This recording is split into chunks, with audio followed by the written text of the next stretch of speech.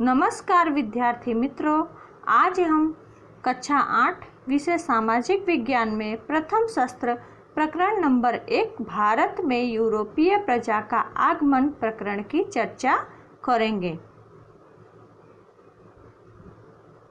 तो बच्चों, पिछली कक्षाओं में हम पढ़ चुके हैं कि वर्षों पहले हमारा देश संसार में अग्रिम पंक्ति पर था।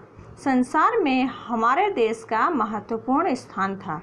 देश विदेश के लोग हमारी संस्कृति और समृद्धि से प्रभावित हो रहे थे। संसार के बहुत से लोग हमारे देश में व्यापार करने और धन कमाने के लिए आतुर थे। तो बच्चों, वर्षों पहले हमारा देश कैसा था? अग्रिम पंक्ति पर था और संसार में महत्वपूर्ण स्थान रखता था और यहाँ की जो संस्कृति थी, उससे विश्व के लोग प्रभावित हुए रहे थे जिसके कारण लोग यहाँ व्यापार करने के लिए और धन कमाने के लिए आते थे। जबकि इसके पहले भी स्थल मार्ग से यहाँ विदेशी व्यापारी व्यापा, व्यापार करते थे। और वो व्यापार कहाँ से करते थे? तो बच्चों भारत के वायव्य सीमा से करते थे। वायव्य सीमा अर्थात पश्चिम और उत्तर के बीच की जो दिशा होती है, उसे वायव्य दिशा कहते हैं। तो उस जगह से वो स्थल मार्ग से व्यापार करते थे। स्थल मार्ग से अरब देश के व्यापारी वर्षों से व्यापार करते थे, परंतु परिस्थिति में परिवर्तन आ जाने के कारण स्थल मार्ग द्वारा होने वाला व्यापार रुक गया, जिसके कारण यूरोपियन देशों में भारत की चीज़ वस्तुएँ जैसे कि रेशम, सूती कपड़ा, मलमल, मिर्च मसाला, तेज पत्ता आदि की मांग बढ़ गई और इस परिस्थिति का लाभ लेने के लिए यूरोप के अधिकांश देशों ने भारत पहुँचने के लिए जल मार्ग को खोजने की योजना बनाना आरंभ कर दिया। तो बच्चों, हमें इस बात का ख्याल आता है कि जो भारत में चीज़ वस्तुएँ उत्पन्न होती थी, जैसे कि रेशम, सूती कपड़ा, मलमल, मिर्च, मसाला, तेज पत्ता, ये सब की मांग अधिक होती थी। कहाँ? तो विदेशों में और किसी कारणवश स्थल मार्ग से होने वाला व्यापार रुक जाने के कारण ये सभी वस्तुओं की मांग जो है वो यूरोप में और विदेशों में बढ़ गई और जिसके लिए यूरोपियन प्रजा को जो है वो नए जलमार्ग खोजने की आवश्यकता पड़ गई। बच्चों, आप नक्शे में देख सकते हो कि किस तरह से उन्होंने नए जलमार्ग की खोज की और इस नक्शे में आपको, मैं आपको बताती हूँ, जैसे कि पहले हम पढ़ चुके हैं कि स्थल मार्ग से व्यापार होता था तो स्थल मार्ग से व्यापार बच्चों कहाँ से होता था तो आप लोग नक्शे में देख सकते हो। भारत, फिर ईरान, फिर बगदाद, तुर्किस्तान, इस्तंबुल यहाँ से जो है, ये जो रास्ता है, ये स्थलीय मार्ग का, व्यापार का रास्ता था। और ये जो आप टूटक टूटक रेखा देख रहे हैं ना बच्चों तो ये जो है, जो नए जलमार्ग की खोज की, उसका उसका नक्शा यहाँ पर बताया गया है, जिसकी हम चर्चा आगे करेंगे।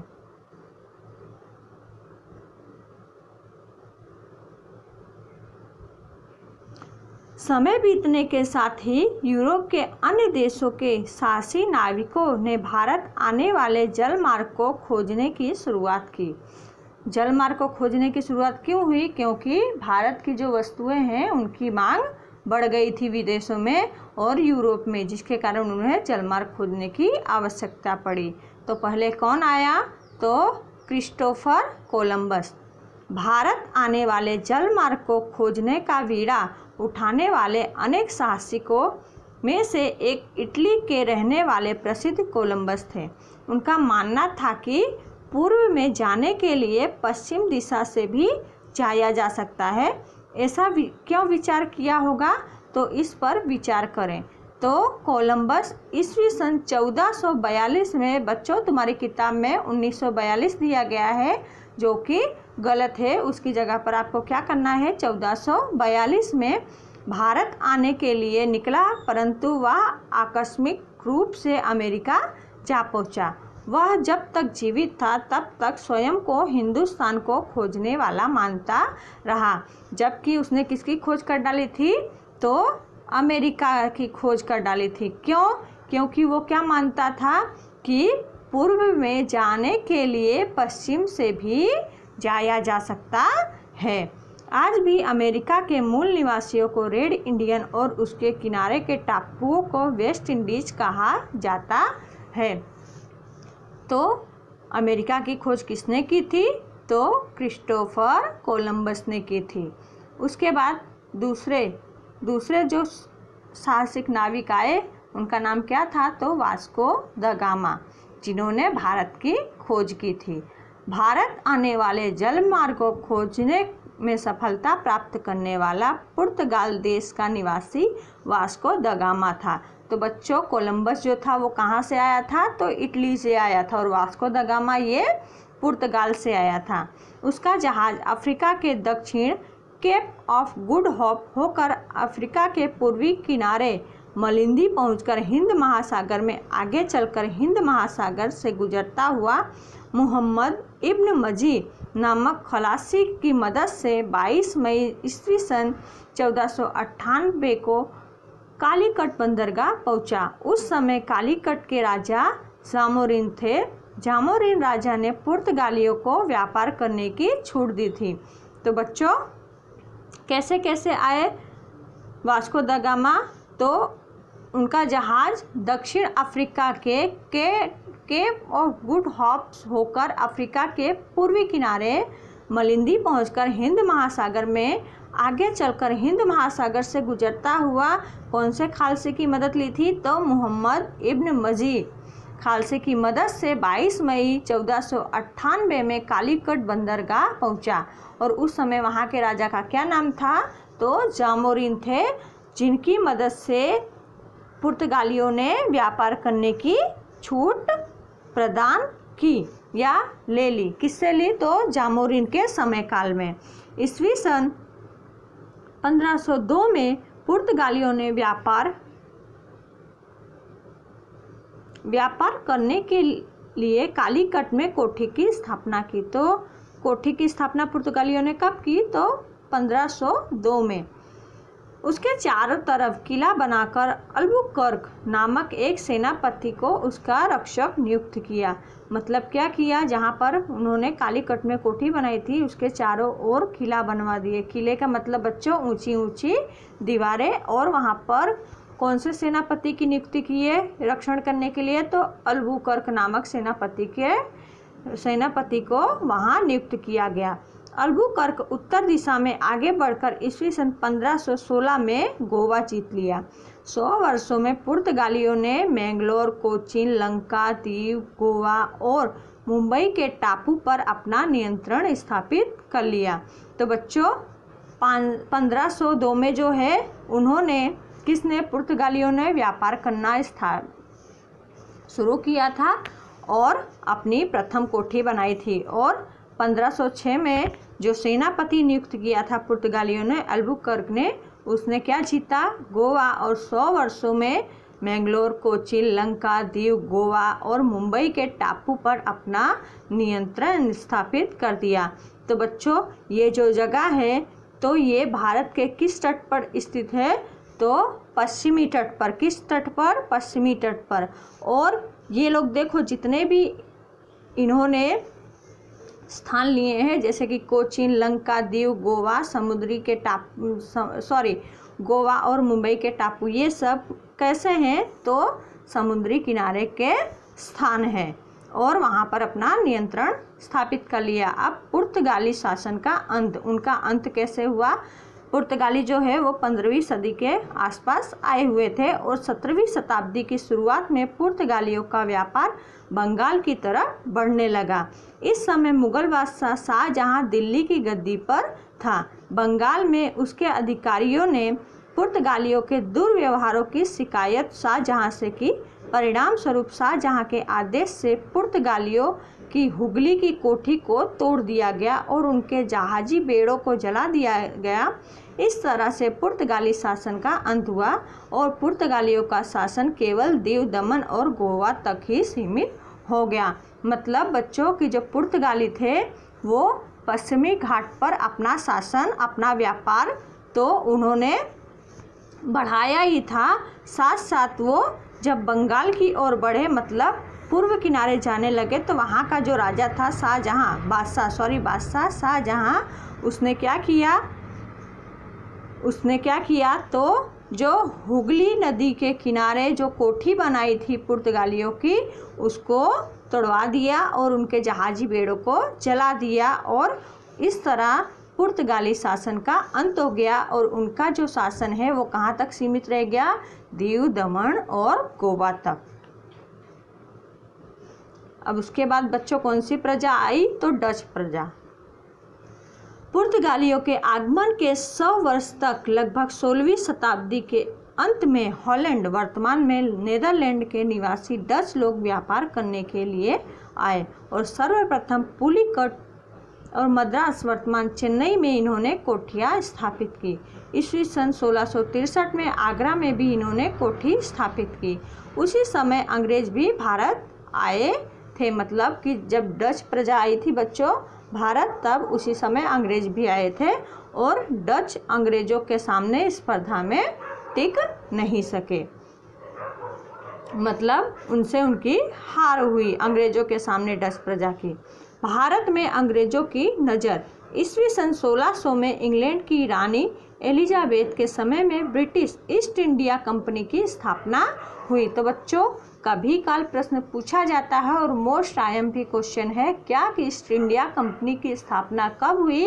तो 1600 में हुई थी। भारत के साथ व्यापार करके धन कमाने की इच्छा रखने वाले व्यापारियों की यह कंपनी थी। इनका उद्देश्य क्या था? भारत के साथ धन कमाना, धन कमाने के साथ व्यापार करना इनकी इच्छा थी। ईस्वी सन 1608 में पहला अंग्रेज़ी जहाजी बेड़ा भारत के सूरत बंदरगाह पर पहुँचा। भारत की धरती पर पैर रखने वाले प्रथम अंग्रेज़ हॉकिंस इस जहाज़, जहाजी बेड़ा के कप्तान थे।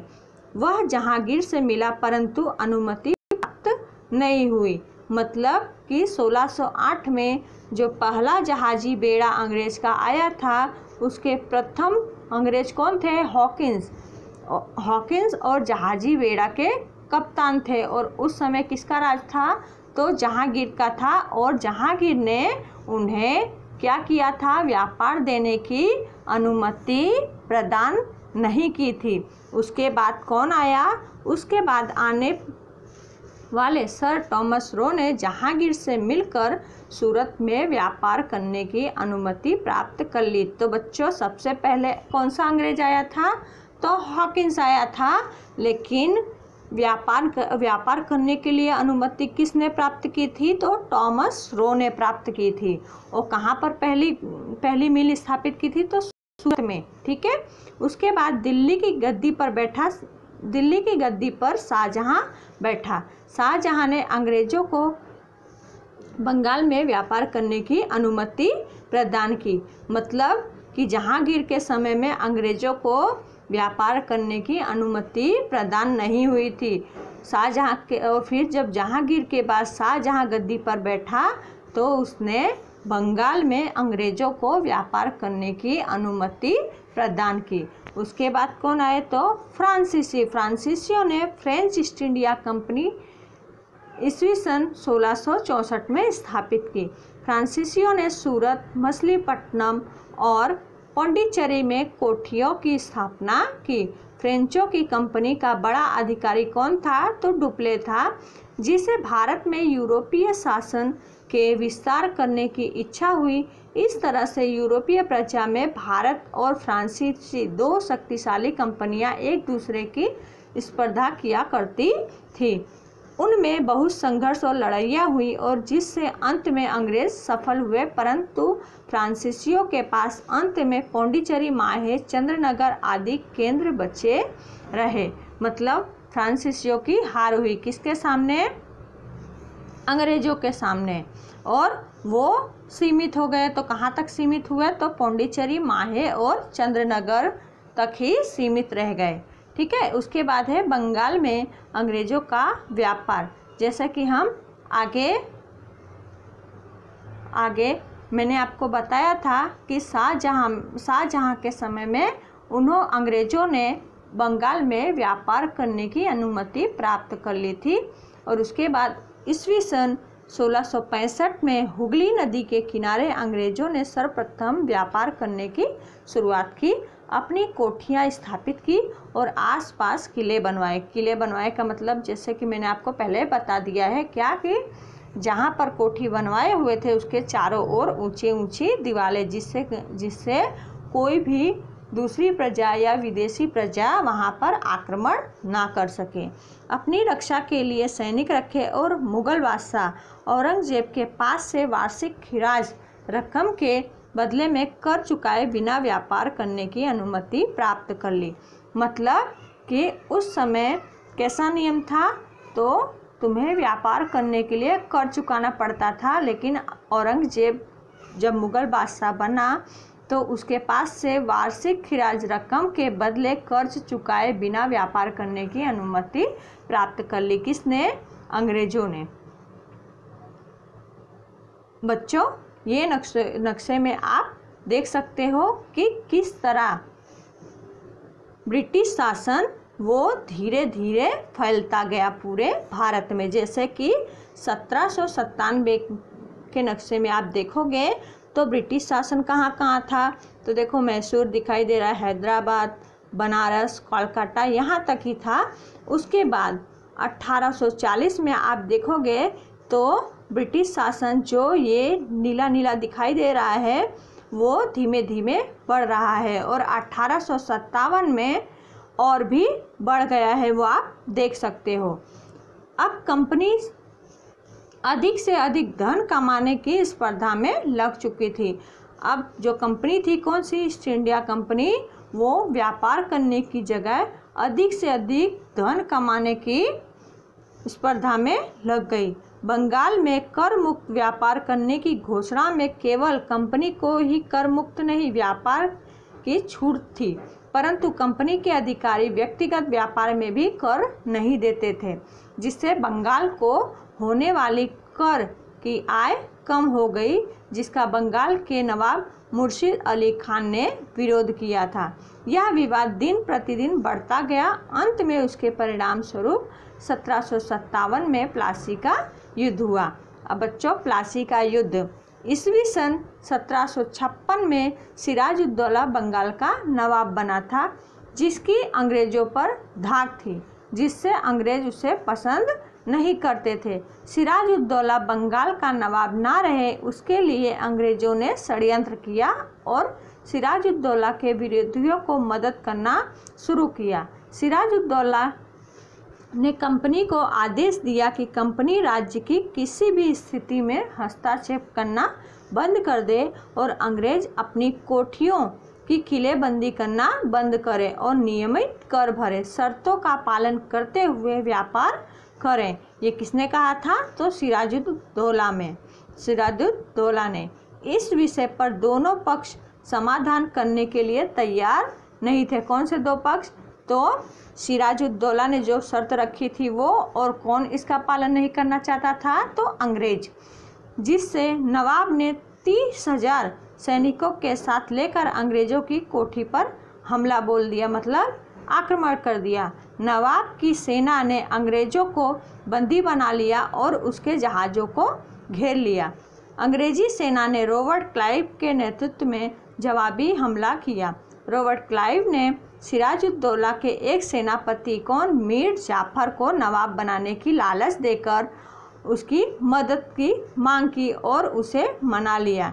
किसने मनाया था? रोबर्ट क्लाइव ने। प्लासी के युद्ध में क्लाइव ने सिराजुद्दौला को पराजित करके उसे धोखे से मार डाला। भारत में कंपनी की यह पहली लड़ाई थी, जिससे भारत में अंग्रेज़ी शासन की शुरुआत होनी थी। और इसलिए यह लड़ाई भारत के इतिहास में एक महत्वपूर्ण घटना मानी जाती है। इस घटना से भारत का इतिहास बदलता है। अब प्लासी प्लासी का युद्ध हुआ बच्चों तो तुमको मैं बताना चाहती हूँ, प्लासी है क्या? तो प्लासी जो है, प्लासी ये एक प्रकार का पेड़ है। ये वास्तव में क्या होता है? मूल इसका नाम क्या है? पलासी।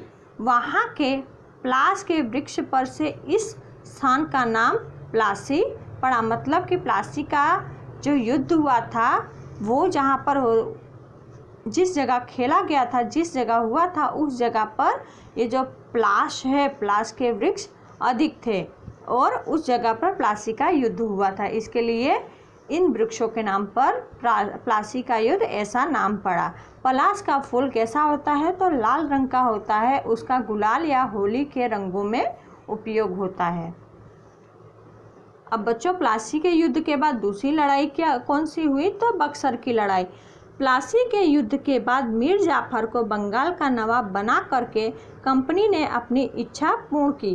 कंपनी को ऐसे व्यक्ति की ज़रूरत थी जो उसके इशारे पर काम करे। परंतु कई बातों में मीर जाफ़र ने कंपनी का विरोध किया, जिससे कंपनी ने उसे नवाब पद से हटाकर मीर कासिम को नवाब बना दिया। नवाब बनने के बाद मीर कासिम कंपनी को परेशान करने लगा। ऐसा मालूम होने पर ईस्वी सन सत्रह सौ चौंसठ बक्सर की लड़ाई द्वारा उसे पराजित कर मीर जाफ़र को दूसरी बार बंगाल का नवाब बना दिया गया। ईस्वी सन सत्रह सौ पैंसठ में मीर जाफ़र की मृत्यु हो गई और उसके बाद क्लाइव स्वयं बंगाल का नवाब बन गया। और इस तरह अंग्रेज़ों ने जो है वो राजनीति राजनीति जो है वो घड़ी हुई थी।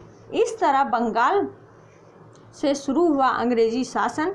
पूरे भारत में किस तरह गुलामी की जंजीर में जकड़ लिया और इस, ईस्ट इंडिया कंपनी, एक व्यापारिक कंपनी से आगे बढ़कर पूरे उपमहाद्वीप की शक्तिशाली सत्ता बन गई। इस विषय में कुछ बहुत कुछ बातें हम आगे के प्रकरण में सीखेंगे। तो बच्चों, यहाँ पर ये पाठ पूरा होता है। इसके स्वाध्याय की जो चर्चा मैं करूँगी, इसके बाद के पाठ में करूँगी।